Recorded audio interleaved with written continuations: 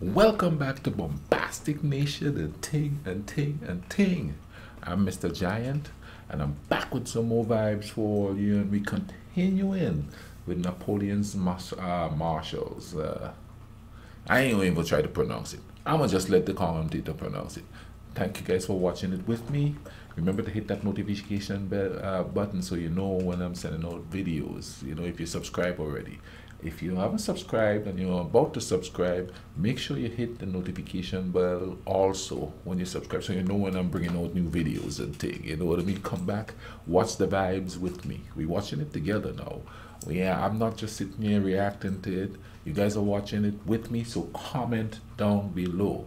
Give me new ideas to watch and you know just comment and give me extra information and thing you know what i mean i'm no expert on history i'm learning as i go and it's best to hear the history from the people where the history is made. You understand what i mean? It's like i could tell you about grenada. You tell me about germany. You tell me about russia. You tell me about france. You tell me about italy. And i'll tell you about grenada. I plan to go live here real soon I'm looking forward to that. You know what I mean? I've never done it before, so I don't have any uh, moderators or whatever you call it. They'll just it's just going to be a meet and greet type of vibe for the first one and thing, you know. And then later we we could come up with some ideas of what we could do together. You understand what I'm saying? Thing, but let's go ahead and watch this here. This is uh, Napoleon's Marshals. That's YouTube and Sim Simmer.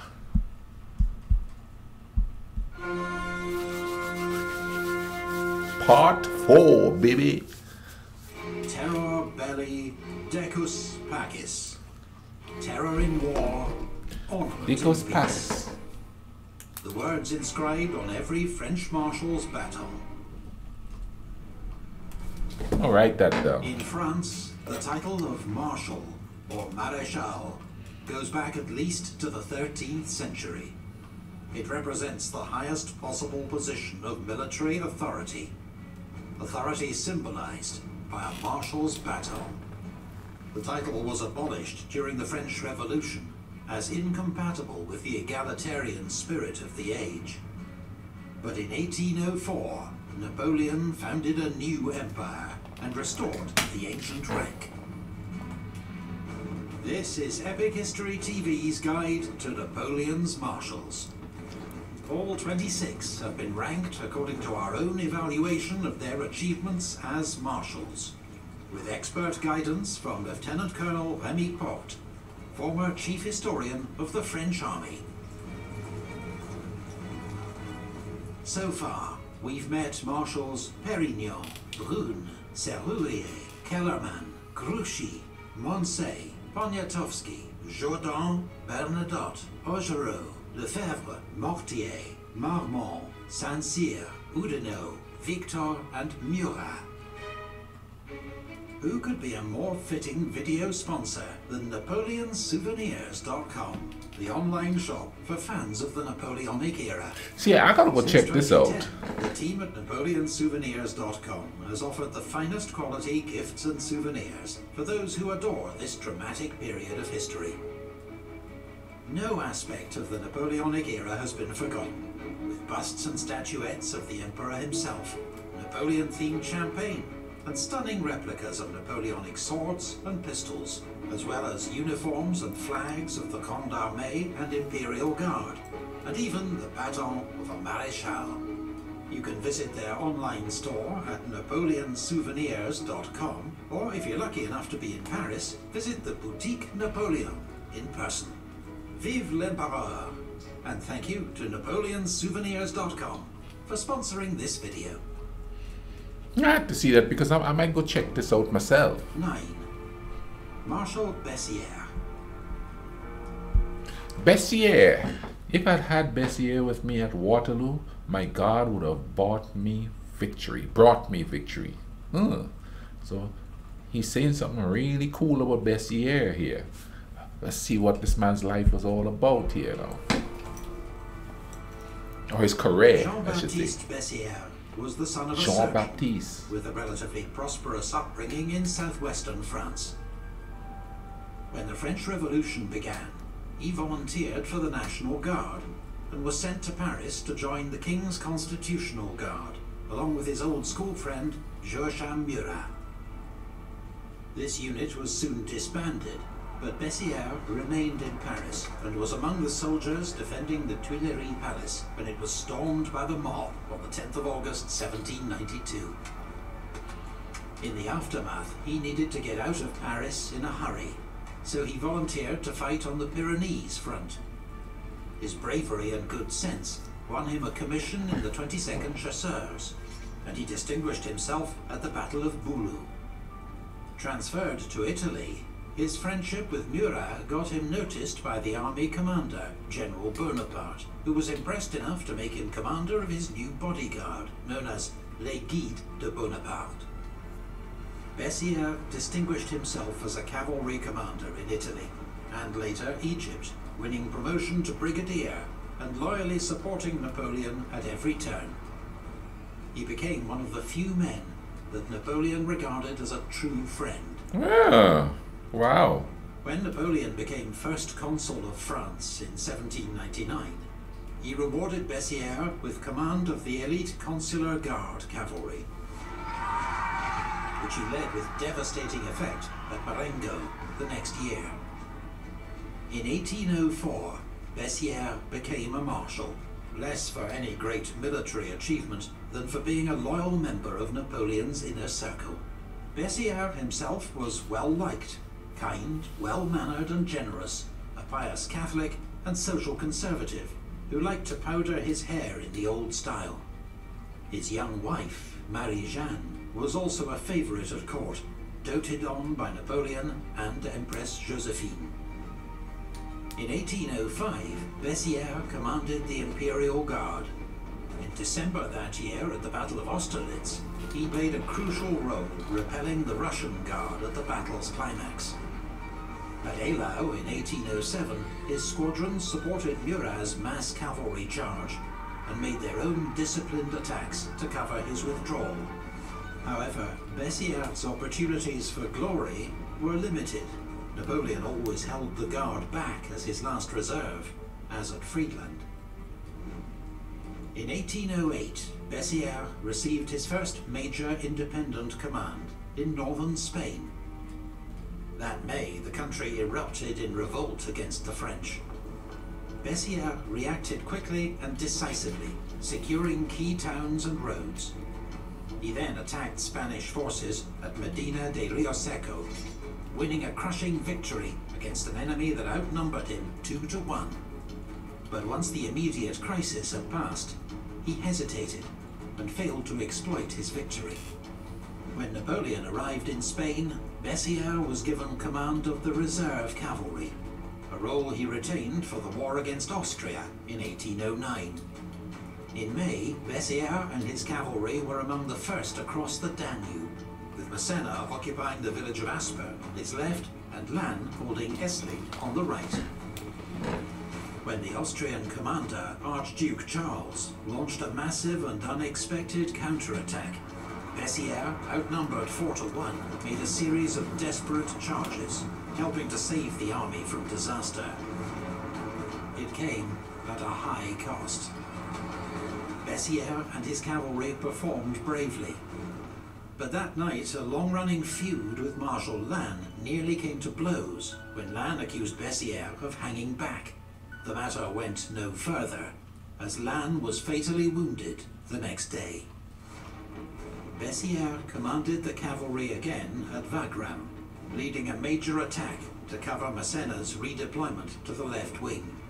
As the charge began, a cannonball killed Bessieres' horse and injured his leg, a rumor reached the Imperial Guard that Bessieres was dead. Some old veterans began to weep for their old commander, until they were assured he was only wounded. That was quite a cannonball, Napoleon told Bessieres. It reduced my guard to tears. Oh, wow. As a devout Catholic, Bessieres was critical of Napoleon's divorce from Empress Josephine, leading to a short spell out of favour. In 1811, he was sent back to Spain, to command the Army of the North. He found an impossible situation. A widespread in. See, just one little, just one little disagreement with Napoleon. He's like, "Oh, can't trust you. You gotta go. You're out of favor for a while." You know what I'm saying? But it's kind of crazy how uh, people incorporate religion and politics and war all in one. You know, especially here where we live in a place where they say religion is separate from politics. No, it's not, because every politician that that, that run for power here has to prove that they go to church every Sunday. They have to prove that they kind of pious in some shape or form. So, so a lot of these people to vote for them. So it's not separate, because if it was separate, these people wouldn't believe in it. Uh, but and, and then again, you see, it's important that there is a correlation as far as politics is concerned because look how he was, you know what I mean? And everybody looked up to him and loved him. He's pious and he's generous. And you know, a person isn't generous because they're religious, a person is generous because they're human. But people equate good deeds with religion.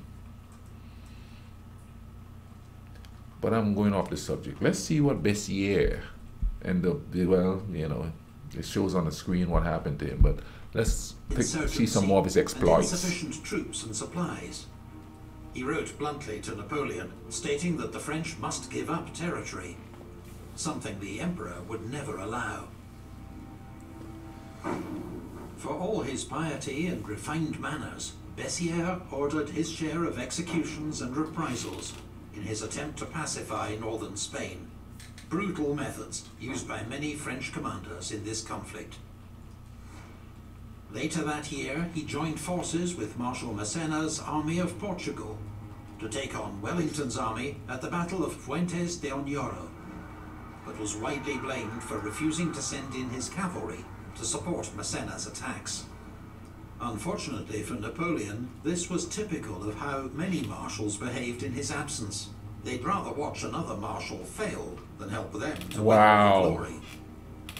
In 1812, Bessières accompanied Napoleon into Russia, commanding his guard. As pious as he is, he did Since that. the guard was kept in reserve, he saw little action until the retreat, when he led the advance guard, clearing a path for the survivors. The disaster in Russia left Bessières severely demoralized, but he was resolved to do his duty, now serving once more as Napoleon's cavalry commander in Marshal Murat's absence. On the 1st of May 1813, Bessières was scouting enemy positions before the Battle of Lützen when a cannonball hit him in the chest, killing him instantly. His death robbed Napoleon of a dependable commander and one of his last remaining friends. It is surely a great loss for you and your children, Napoleon wrote to his widow, but an even greater one for me. Me, Napoleon says. Eight. Marshal MacDonald.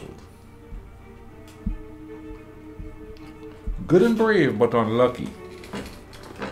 Jacques MacDonald's father was a Scotsman who supported Bonnie Prince Charlie's bid to seize the British throne in 1745.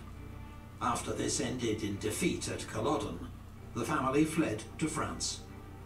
Inspired by tales of the Trojan War, MacDonald chose a military life and became a lieutenant in Dillon's Irish Regiment, a French unit made up mostly of Irish emigres.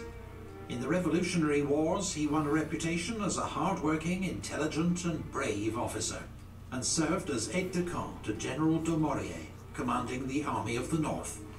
He distinguished himself in that general's famous victory at Jemappes, paving the way for rapid promotion from lieutenant to general in just two years. He led his division well during campaigns in Holland and Germany and formed a close bond with one of France's most successful commanders of this period, General Moreau. In 1798, he was sent to Rome as governor and later commanded the army of Naples. Summoned north the following year to reinforce Moreau's army of Italy, he was nearly killed in a skirmish with Austrian cavalry, and while still suffering from his wounds, his army was defeated at the Trebia by a larger coalition force commanded by the great Russian general Suvorov. but MacDonald's own conduct won approval from General Bonaparte, among others. Later that year, he assisted Napoleon's seizure of power in the coup of 18 Brumaire, ensuring the loyalty of the troops at Versailles. He was rewarded with an army command in Switzerland, and that winter led his men through the Alps to attack the Austrians in Italy. His march was far more challenging and dangerous than Napoleon's, but was never immortalized in quite the same way. In 1804, Napoleon was like, "Ah, former commander, me." General Moreau, was arrested and charged with involvement in a plot to assassinate Napoleon. MacDonald stood up for his friend's reputation, an act of loyalty typical of the man, but disastrous for his career. Moreau was exiled. MacDonald was placed under police surveillance and retired to his country estate in disgrace. Five years passed before Napoleon, desperate for experienced senior commanders, asked him to serve as military advisor to his 27 year old stepson, Prince Eugene, now commanding the army of Italy. MacDonald and Eugene worked well together, driving back the Austrians, and by an awesome feat of marching, joined Napoleon near Vienna in time for the Battle of Wagram. The second day of the battle was MacDonald's moment. Entrusted by the Emperor with the main attack on the enemy centre, he formed his troops into a giant open-backed square and advanced into a hail of fire. Advancing in a hail of fire, boy. That's crazy. through his telescope, exclaimed several times, "What a brave man! What a brave man!" MacDonald's costly attack helped to secure a great victory. The next day, Napoleon went to find him on the battlefield and greeted him with the words, Let us be friends from now. You have acted valiantly and given me the greatest services. On the battlefield of your glory, where I owe you so large a part of yesterday's success, I make you a Marshal of France. You have long deserved it. In addition, MacDonald received the title Duke of Taranto and a large pension. But as time would prove, his loyalty remained to France, not to Napoleon. Here we go again. MacDonald spent an unhappy year in Catalonia, commanding troops in what he regarded as an immoral war. In his memoirs, he even praised the noble and courageous resistance of the Spanish. In 1812, he was given command of 10th Corps for the invasion of Russia. This corps, composed of German troops and reluctant Prussian allies, guarded the left flank of the invasion and had a relatively quiet campaign. In December, the Prussians suddenly agreed an armistice with the Russians, leaving the loyal remnants of MacDonald's corps to fight their way back to Poland. By 1813, Napoleon relied on MacDonald as one of his senior marshals. In August, he gave him command of the forces keeping watch on General Blucher's army of Silesia. But when MacDonald advanced across the Katzbach River, torrential rain and flooding caused chaos among his troops, just as they encountered Blucher's army. Blucher launched an immediate attack, and MacDonald's army was routed. Thousands of his new conscripts surrendered or deserted. Hundreds were driven into the river itself. MacDonald took full responsibility for the disaster, though his lack of cavalry and some bad luck were also to blame. Napoleon certainly continued to respect MacDonald's military judgment. He continued to command 11th Corps and was in the thick of the fighting at Leipzig two months later. MacDonald was with the rear guard when the French retreat began and was shocked to see the chaos that engulfed the army.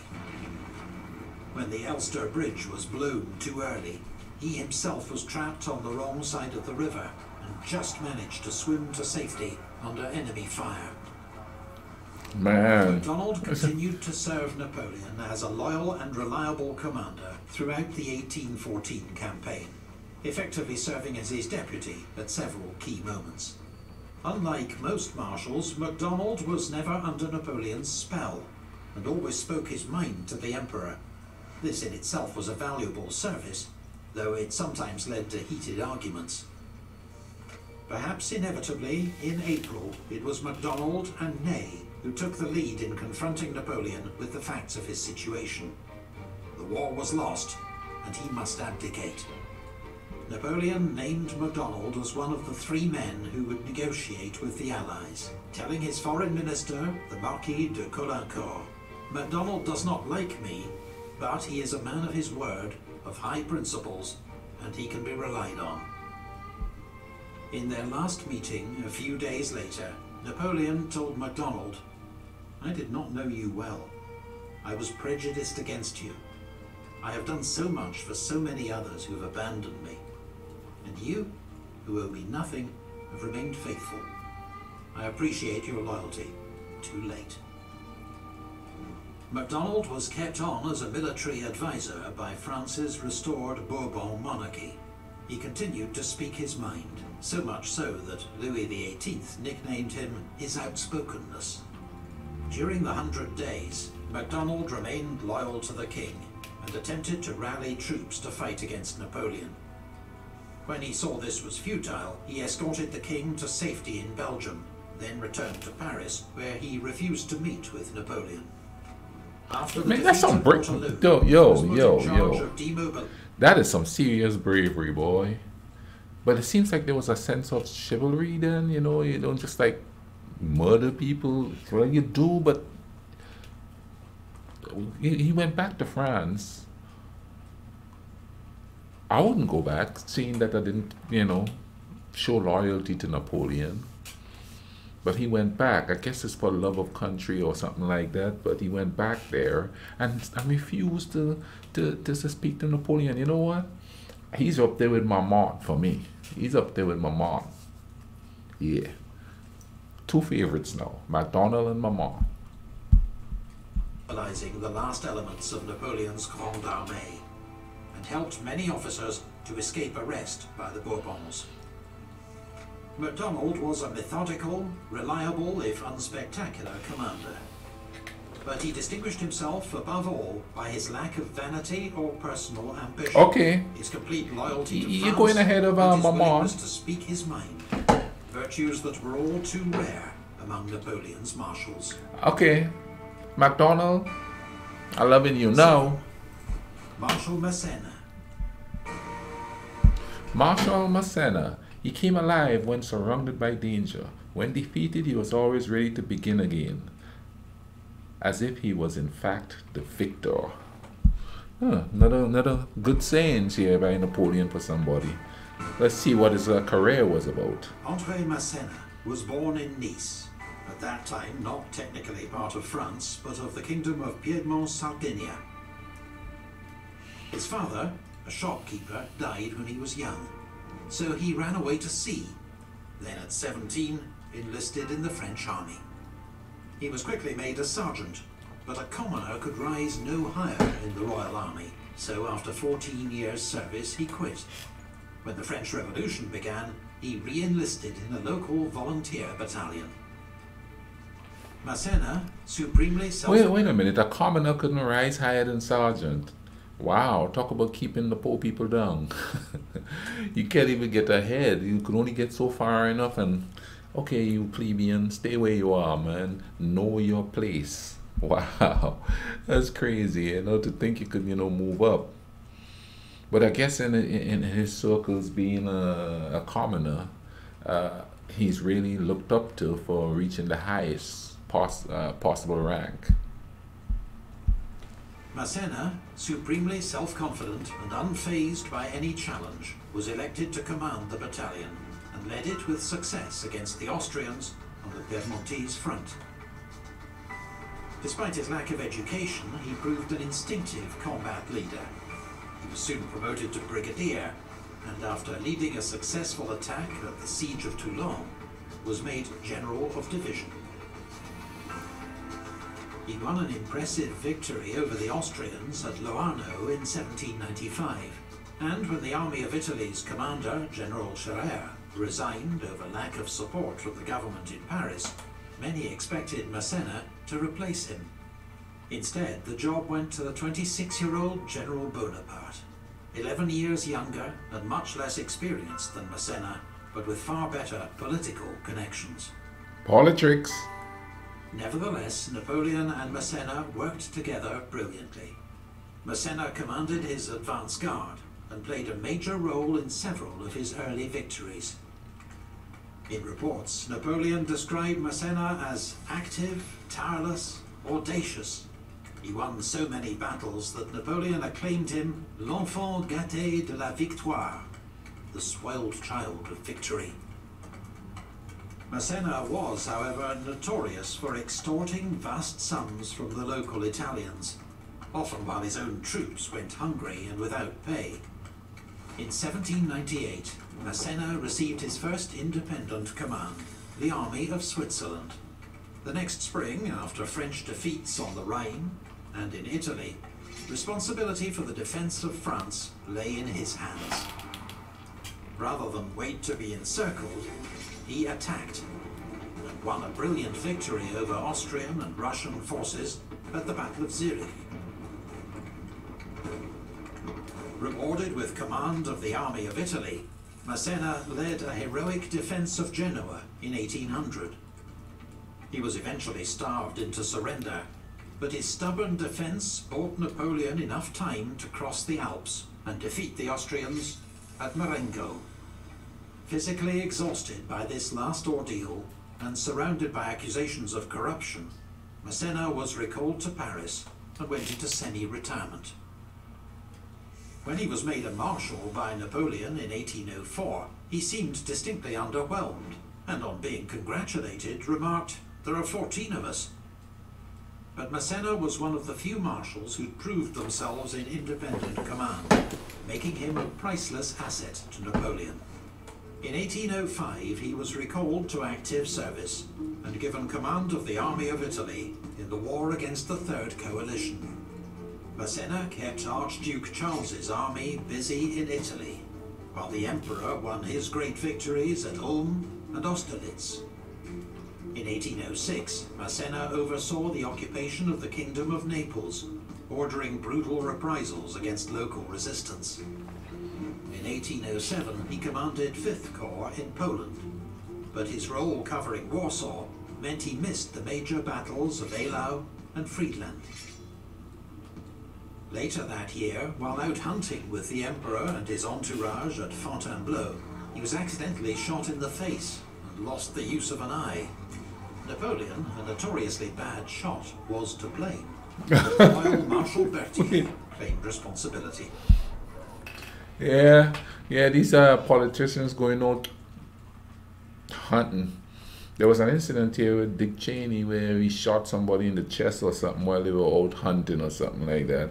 You know, they're out there playing with guns, boy, shooting each other. The war against Austria in 1809 saw Massena back near his best.